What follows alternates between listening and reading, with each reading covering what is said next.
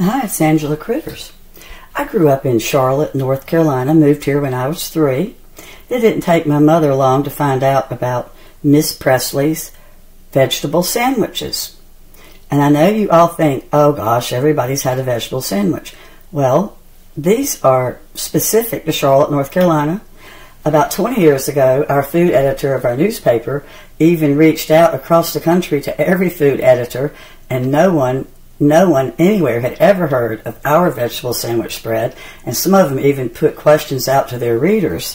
So, the reason it's so wonderful, they're these awesome tea sandwiches full of little tiny chopped vegetables. And all my vegetables have been chopped up for hours, and they sat, and all the juices have drained.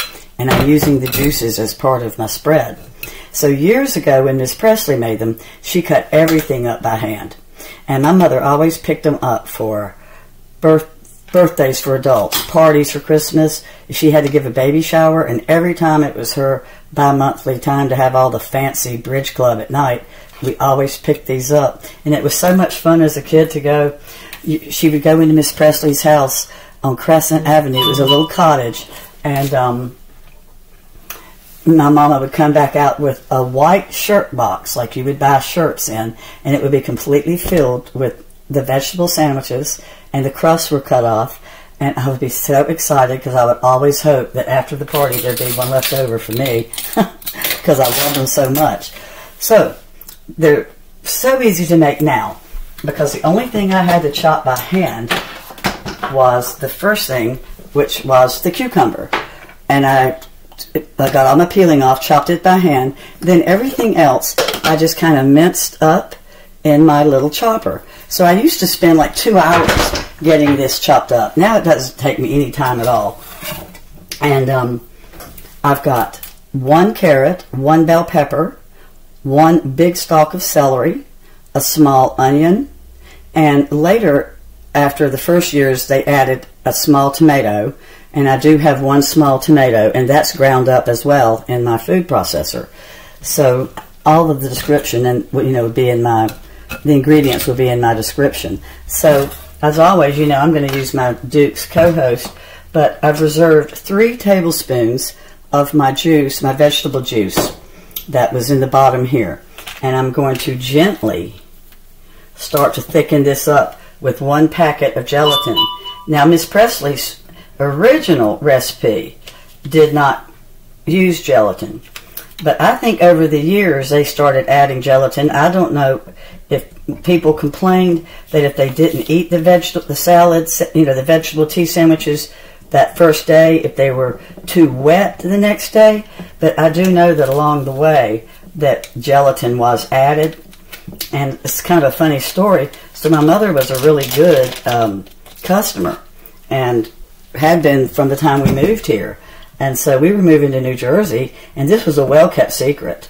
Uh, Miss Presley's sister Dot had invented this recipe, and she never told anybody. So when we left town, Miss Presley gave my mother the recipe on the promise that she would never share it. And so um, when we moved away, my mother would make it when we moved to New Jersey, and she went to parties and stuff. And so I always had the recipe. And in the 80s, I would make it so much that my friends would ask me to make it for them. And I even had one friend that took some to Tennessee for her parents' wedding anniversary, but I would never, ever, ever, ever give anybody the recipe because I promised my mother. Well, in 1999, the Charlotte Junior League put out a cookbook, and in the cookbook, they finally gave Miss Presley's recipe. and so I can share it with y'all now because it's been in a cookbook. So it's a little bit of trouble, like I said, but when my husband hears that I'm making this, he just gets so excited. He thinks there's nothing better than to just eat this as a sandwich, not like on regular bread. And it's real good on crackers. I've even thought about rolling it in a tortilla, but I'm not sure. It might be too thick to, um, you know, wrap. I don't know. So I'm going to let this uh, it's just, oh, okay, it's good. It's come together now, my gelatin. So my gelatin's not really um, thick. It's going to thicken later, but it is uh, completely stirred together. So my mayonnaise will be added as soon as it's cool enough. And my mayonnaise is right at about three quarters of a cup. It's cool enough now. I'm going to go ahead and put my mayonnaise in real quick. And then all I do is just add my mayonnaise to my chopped up vegetables and this is ready. It seems like, what is the big deal? Why is this such a special recipe? You have to taste it to get how good it is. It doesn't have garlic in it. I've heard down the road that some people have added garlic. I love garlic, but my husband doesn't. But I've never added garlic. And then somebody told me that in recent years they started um, adding jalapenos. But so many people nowadays have such a palate that's spicier. Back in the well, 1941, when she developed the sandwiches, people didn't eat the spicy foods like we eat today. It just wasn't a thing. And so this reigned supreme for over 50 years in Charlotte. I mean, it was, you did not go to a fancy reception in town or a wedding without seeing just platters of her sandwiches. They're just so good. All right. So I'm going to dump them in. And I've just learned from experience. I do half my vegetables. Go ahead and mix up half of my mayonnaise. So when they were reaching across the country and asking people about if they'd ever heard of this, people have vegetable spreads, you know, a sandwich where they put a tomato on it and call it a vegetable sandwich.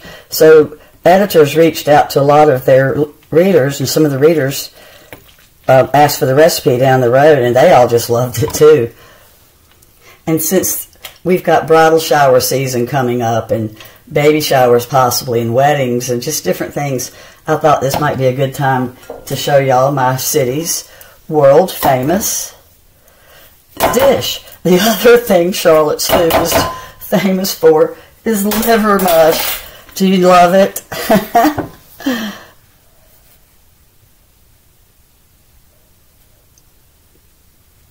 I'm sorry, I was trying to stop it. You probably don't want to watch me mix this up. But anyway, you don't have to actually see it put together because I can't spread it out and put it on like a cracker or a sandwich till it has sat for quite a few hours. And I fill up jars with it. And it will sit in jars for days and days. And like I said, it originally did not have the gelatin. But see how wet it is now? It will not be wet once this gelatin comes together.